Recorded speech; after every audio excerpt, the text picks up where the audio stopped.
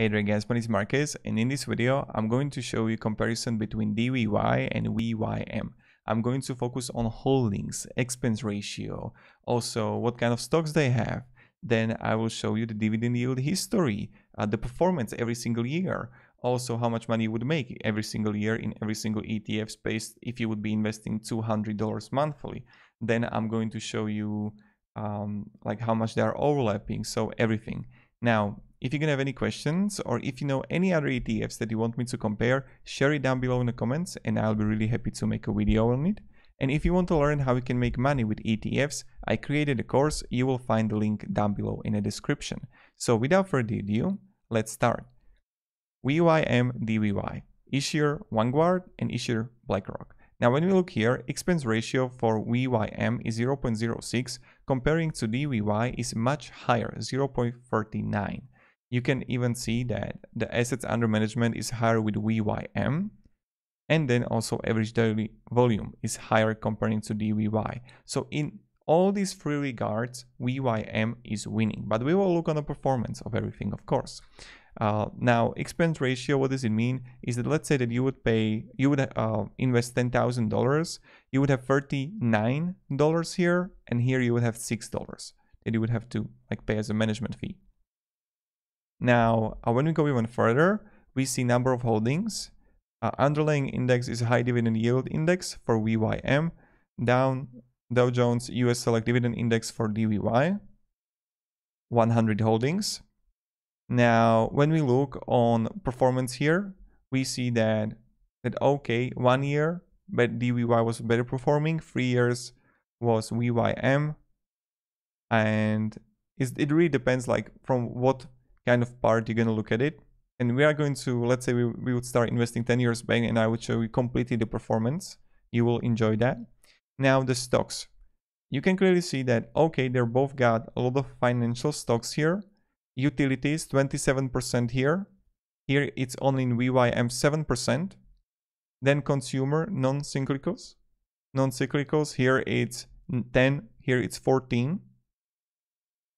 And many other segments, I'm not going to read every single one of them. When we look on our companies here, we can see that, okay, Altria Group, 10K, Altria Group, ExxonMobil Corporation, PPL Corporation, Pfizer, and here on VYM, JP Morgan Chase, Johnson Johnson. But these kind of stocks like, like all right, but let's look on overlap. When we look on the overlap right here, VYM and DVY, we can see that 24% of VYM 413 holdings you would find in a DVY and all those 100 holdings you would find also in VYM. This is really important. But but wait, they are overlapping only by 29%.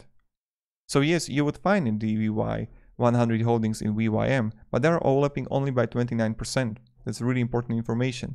And let's see now how well it's going to perform if we are going to uh, see the investment. So let's say we are going to start from the start. We are going to initial amount $10,000 or let's say 2010. Okay, we would start by investing 2010, $10,000, contribute fixed amount $200 monthly, inflation adjusted, yes, contribute in frequency monthly. Now uh, we are going to reinvest the dividends and we are going to show you the display the income from the dividends. And let's see, analyze portfolios. Okay, how well it's performing.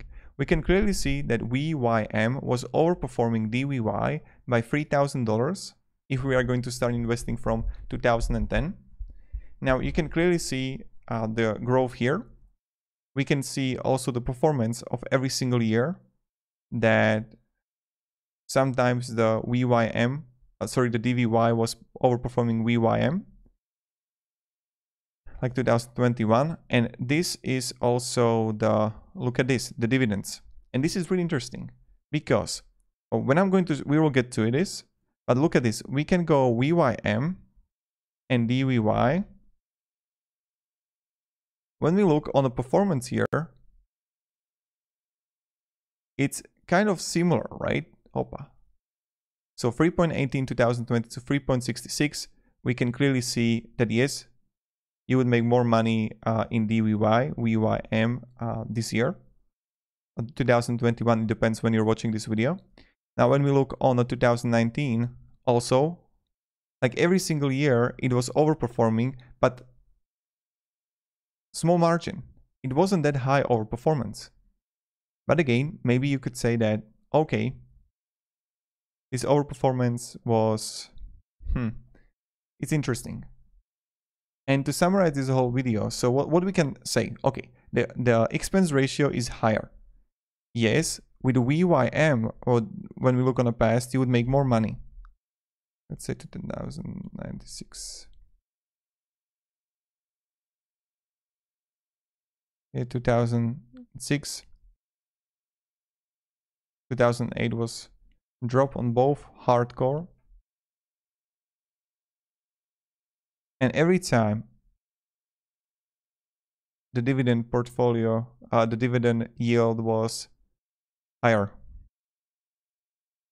in a DVY but we could see that final balance was better on VYM so I don't know what to really think about it share it down below in the comments your what thoughts are it depends what companies you actually like in those ETFs.